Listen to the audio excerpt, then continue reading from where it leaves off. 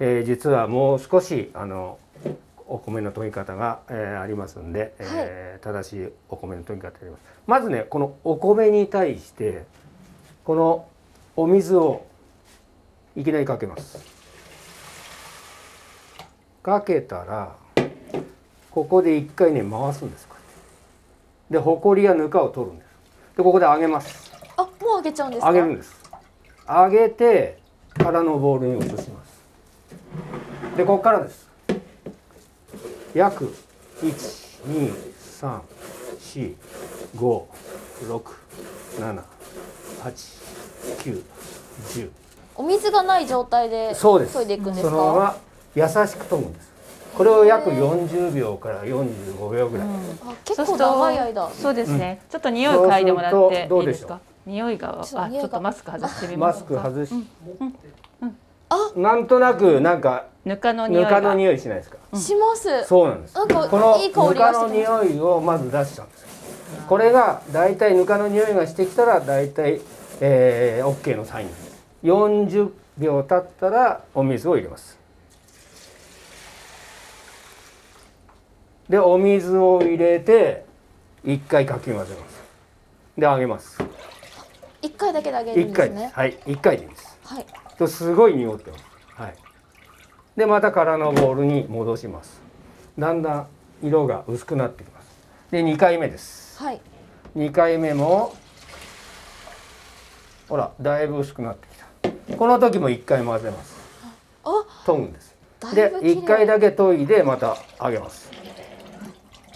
で空のボウルに入れて最後3回目でお水を入れるともうほとんど濁ってないです。多少濁ってても大丈夫です。これ3回目でこれぐらいになります。で1回かき混ぜてあとは空のボウルにあげてこれで完成です。力強く研いでしまうとお米が割れてしまったりとか風味がなくなってしまいますね。ですから今みたいに丁寧に研いでいくと最初の、えーお米だけを研いでいくっていうのがポイントだと思います。勉強になります。はーい。じゃあ、えー今から寿司シャリの作り方をやりたいと思います。はい。でこちらに、えー炊きたての2合の固めのお米。反対にこう濡らす感じね。程よく濡らす感じにします。このままひっくり返しておお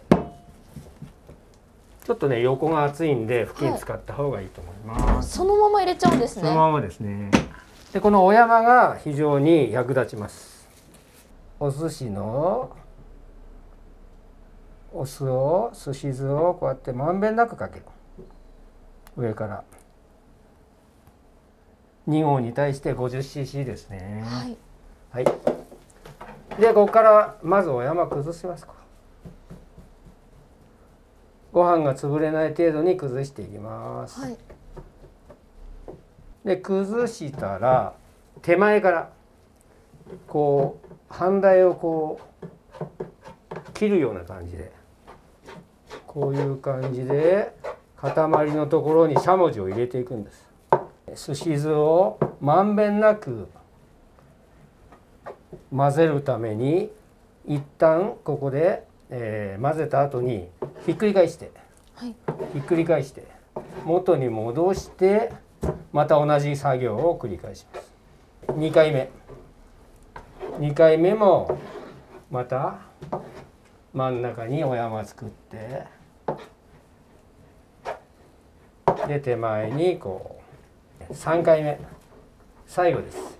だいたい3回ぐらいで混ざり合いますのでここでまた中央に持ってきて手前から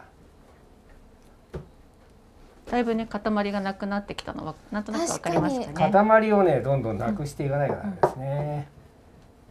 寿司シャリが混ざり合いました。あとはご飯粒なんかをきれいにしといてこのまましばらく待ちます。この時の温度ちょっと体感してみますか？いいですか？そんな感じ。あまだ。まだ熱いですね。あったかいですまだ、はーい。でしばらくするとだいたい人肌に、えー上の面だけが人肌になりますんで下はまだあったかいので、えーひっくり返してくださいこうや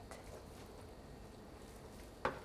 それで下側も人肌にしていくんですか？そうです。そうすると全体が人肌になった状態で、えージャーなり、えーボールなりに保温できるような状態で、えー保存しておくといいと思います。はい。三二。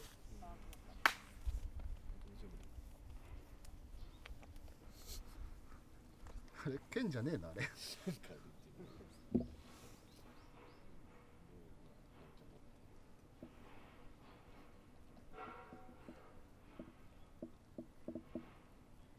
カメラに向かってやつでいいじゃない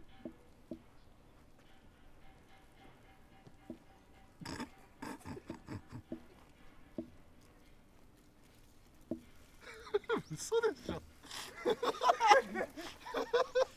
ダメいや、オッケー。